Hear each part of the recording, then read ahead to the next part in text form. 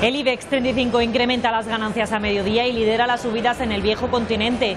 Se anota un punto y medio porcentual, lo que le permite superar la barrera de los 9.000 puntos.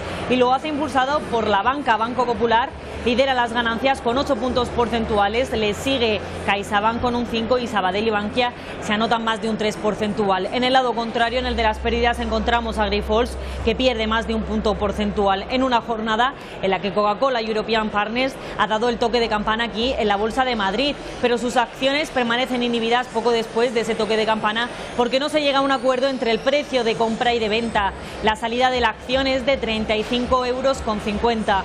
Mientras tanto, los inversores permanecen a la espera de conocer las decisiones de la reunión del Banco Central Europeo que se ha celebrado hoy y mientras tanto en el mercado de deuda la prima de riesgo española sube hasta los 137 puntos básicos y el euro baja hasta el dólar con 11 centavos.